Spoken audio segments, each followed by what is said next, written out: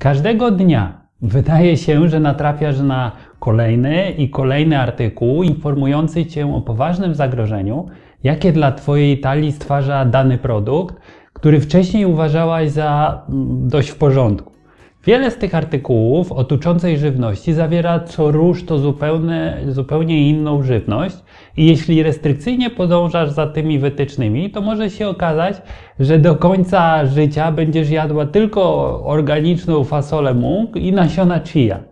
Jednakże, aby przywrócić trochę równowagi we wszechświecie, zamierzam teraz ujawnić raz na zawsze ostateczną listę pokarmów, których należy unikać, jeśli chcesz schudnąć i zachować formę na lata. Gotowa?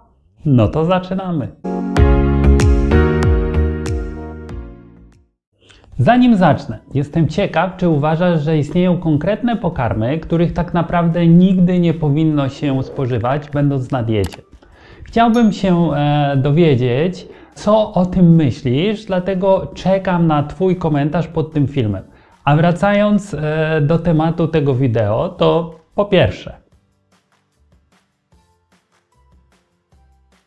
Jeśli Twoja obecna dieta polega na regularnym spożywaniu pokarmów, których nie lubisz, prawdopodobnie nie będziesz przestrzegać tej diety zbyt długo.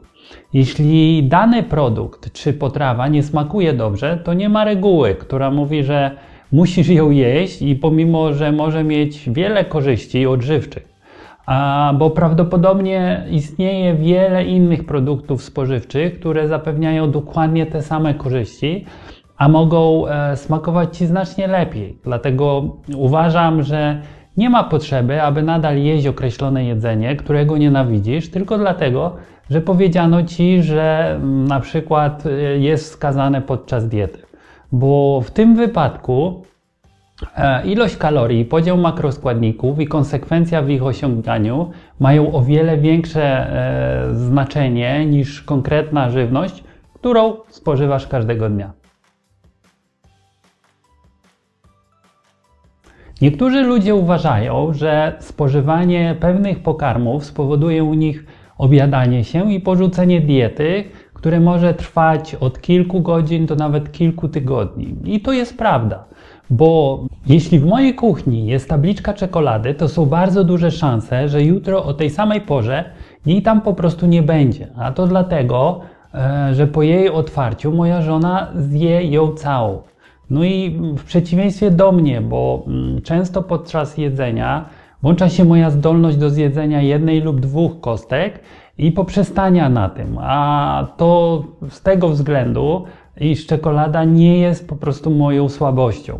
Dlatego jeśli istnieje konkretna żywność, która konsekwentnie wypycha cię poza cele makroskładników odżywczych, a nie potrafisz e, się jej oprzeć, to zrób wszystko, co możliwe, aby jej skutecznie unikać, a już na pewno usunąć ją z pola widzenia, e, gdy masz słabsze chwile. Ok?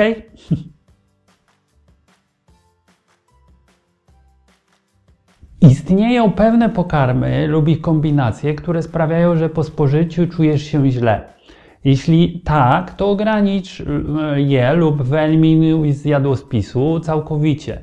Bo ja na przykład jeśli rano jem dużo węglowodanów, czuję się ospały i senny, a duże śniadanie sprawia, że jestem bardziej głodny niż kiedy jem mniej lub w ogóle w godzinach przedpołudniowych. Dlatego nie jem nic rano, a większość węglowodanów z dziennej puli makroskładników jem pod koniec dnia. Dlatego jeśli jest jakiś e, pokarm, który sprawia, że czujesz się ospała, zmęczona, nabrzmiała lub coś innego, czego nie chcesz czuć, nie jest go. No bo czując się źle na diecie przez jedzenie pokarmów, których nie tolerujesz, skazujesz siebie na porzucenie diety i tym samym brak sukcesu.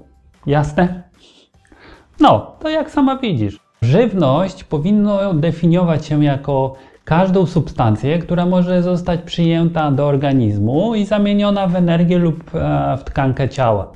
I z pewnością istnieją substancje, które robią to skuteczniej niż inne.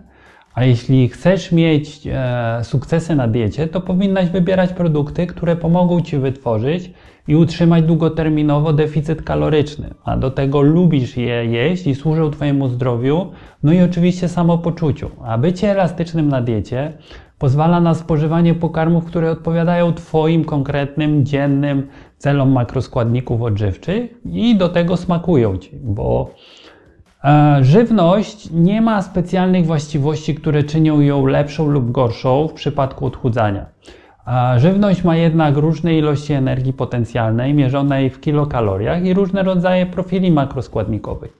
No i e, wiedza o tym zapewni Ci na diecie swobodę w dokonywaniu wyborów żywieniowych, co może z czasem pomóc w utrzymaniu masy ciała i stworzyć pozytywną, no i oczywiście zdrową relację z jedzeniem. Jednak wiedz, że aby zachować zdrowie, należy w 80% dokonywać rozsądnych wyborów. No, rozumiesz już? A także, jak sama widzisz, e, nie ma jakichś produktów, które e, powinno się jeść na diecie lub się nie powinno jeść na diecie.